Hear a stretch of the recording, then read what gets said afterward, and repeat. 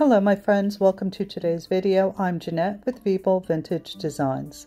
I just came back from a trip to Lake George, New York, where they had these golden poppies growing everywhere and they were so bright and cheerful that I felt very inspired to paint them. So you can see that I photographed them and I printed out the image. I took a pencil scribbled on the back and I transferred the image onto my watercolor paper by tracing it. And for this painting, I decided to use my Inktense pencils because the color is so vibrant and I thought it would be perfect for this painting. So now that I've traced the image, I'm using a kneadable eraser as opposed to a regular eraser because it's much more gentle on the surface of the paper. And because I'm using yellow, I wanted to make sure that my pencil lines would not be visible after I finished my painting.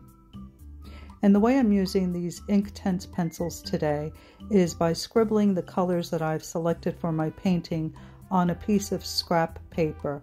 And then I use a clean damp brush to activate the color and transfer it onto my paper.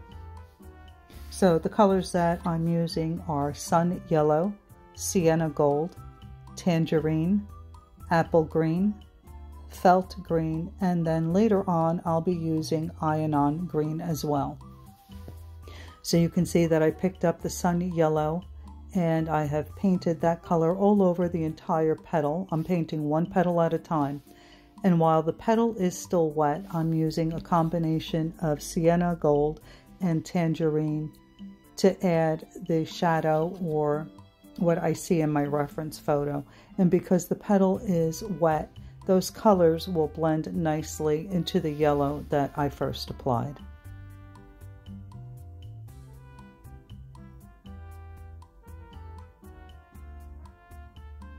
Now there's many ways to use these Inktense pencils, but this is the way I prefer to use them because I feel I have much more control by scribbling them on a piece of scrap paper and then just picking the color up like I would from um, my watercolor pan paints.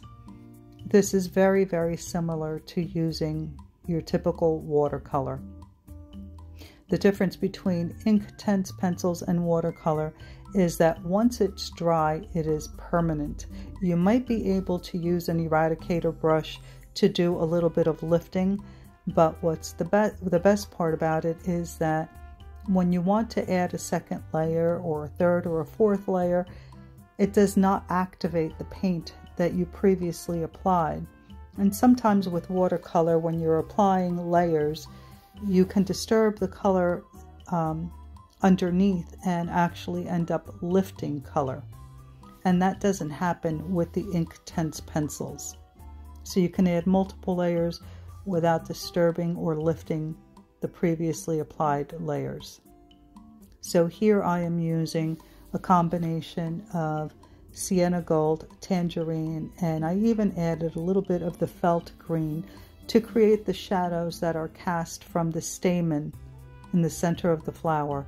I use, also use this combination to create uh, the shadow in between the stamen.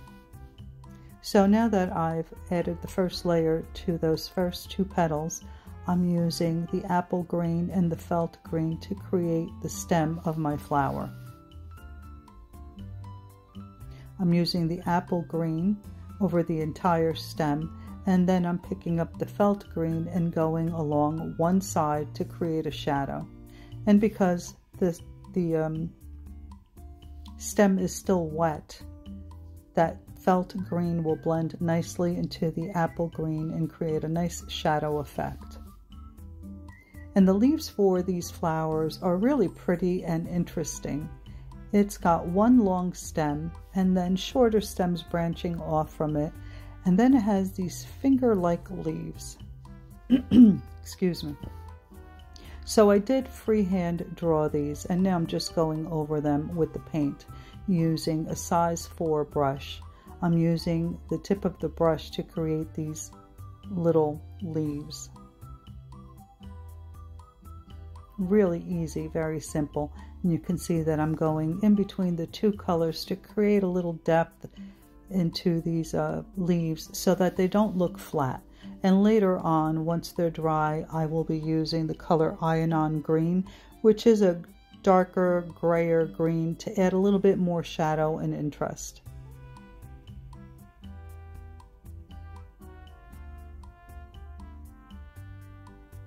So prior to my vacation to Lake George, I was in a painting rut. I had no desire to paint. Um, I felt like I was forcing myself to paint, and that happens to me now and then. I'm sure it happens to everyone. And usually I have solutions to uh, rid myself of that feeling. But uh, my favorite one, going to an art supply store, is not always feasible or affordable. So thank goodness for this vacation because I saw so many beautiful flowers and so many beautiful things that I felt very inspired and I couldn't wait to come back home to start painting. Sometimes you just need a change of scenery uh, to feel inspired and to get rid of that rut. So getting back to the painting, now that the two first petals are dry, I'm painting in my third petal. And I'm picking up a little bit of that sienna gold and dropping it in where I see it in my reference photo.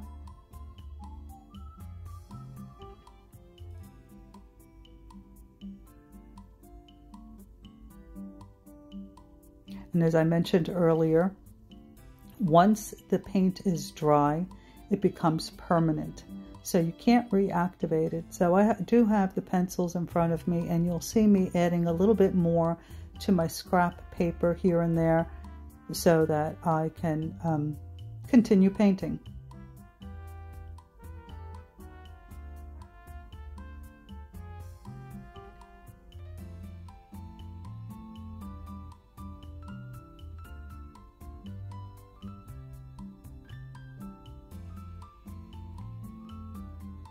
So now I'm adding, this is all the first layer. You'll see I'll, I'll be adding multiple layers just to intensify the color and add a little bit more definition here and there. So again, I'm picking up the sienna gold while this petal is still wet and I'm adding a little bit of detail, the folds and uh, ripples or ruffles that I see in the petals.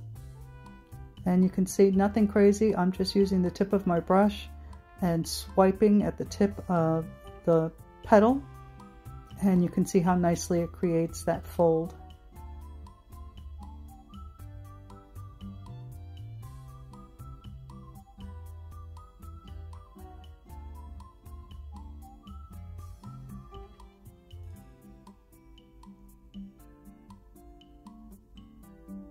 Now there's a shadow in this area, but I want my color to be very intense. So you saw me scribble a little bit there on my scrap paper, but I want the color to be even more intense. So in a moment, you'll see that I am going to pick up the pencil and lift the color right from the pencil instead of my scrap. Because I want more definition and I want the color again to be a little bit more intense. And here I'm adding a little bit of cast shadow because you can see that the top and the bottom petal are laying over the side petals. So I'm creating a little bit of shadow and you can see here I'm lifting the color right from the pencil and applying it to my paper and then I'm using a clean damp brush to run along the side to soften that edge so it blends into the rest of the petal. But you can see by doing this that I've instantly set that petal back. You can see that there's a petal laying on top of it. So this is a cast shadow from the stamen in the center of the flower. I'm just refining that little shadow there. And now I'm picking up the sun yellow to paint in this stamen and I wanted this to be really bright. That's why I'm used, picking up the color straight from the pencil. And later on, I'll use a combination of the Sienna Gold and the Tangerine to add a little bit of shadow to each part of the stamen. Now while the stamen is still wet, I'm adding a little bit of the tangerine for a little bit of shadow, but I will further define it once it's dry.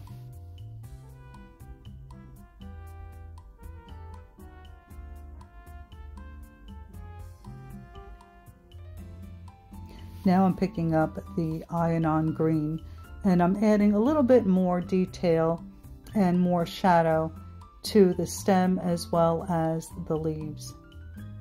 Making sure that the part of the stem that is just underneath that petal is a little bit darker because that petal would be casting a shadow in that area.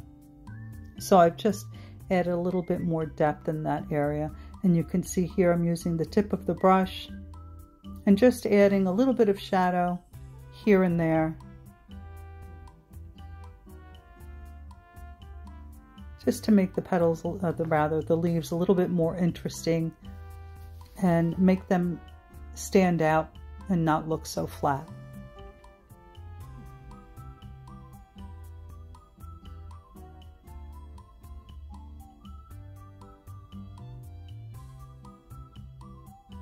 I'm also giving the petals some time to dry because you'll see in a little bit I'll go back and add more detail to the um, to each of the petals and now you can see I've picked up the color straight from the pencil and I'm creating a little definition in between the stamen simply by uh, drawing or rather painting a fine line underneath each one and now I'm defining the edges of my petals simply by using my smaller brush to go around.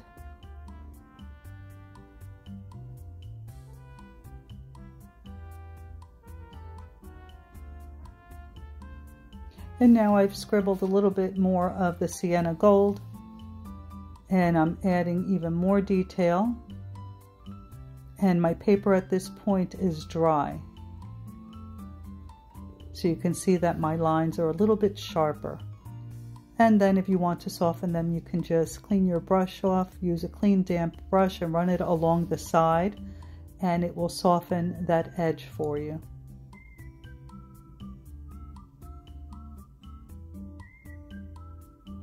Now I'm adding a little bit more cast shadow on that side leaf uh, petal by simply picking up the color, adding it along that edge, and then using a clean damp brush to soften it so that it blends into the rest of that flower petal.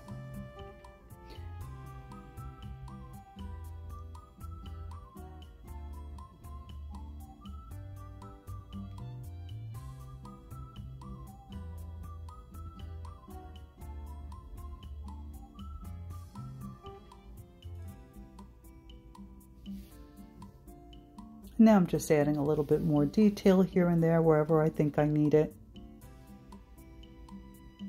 Signing it. And then I later decided that I wanted to intensify the yellow of the uh, petals. So you'll see that I will go over each of the petals with the uh, sun yellow just to brighten it up a little bit more. Here I'm just defining the stamen a little bit. You can see I'm adding the sun yellow, making sure that my petals are completely dry. And then I'm just glazing over each of the petals with a more sun, sun yellow and you can see how much it brightens it up. That's what I love about these Inktense pencils. They are very bright. Again, the color is intense and you can do multiple layers without disturbing the layers underneath and they are so much fun to use. And there's so many different ways to use them. You give them a try, I'm sure you'll find what way works best for you. Well, I hope that you have enjoyed this video and that you give this a try. If you have any questions regarding any of the techniques or products that you've seen me use here, please leave it in the comments. I'll always get back to you. Check the description box for links to all the products used in case you have any questions or would like to purchase them for yourself. Also, please don't forget to like, comment, and subscribe. Thank you so much for watching, and I will see you in the next video. Bye for now.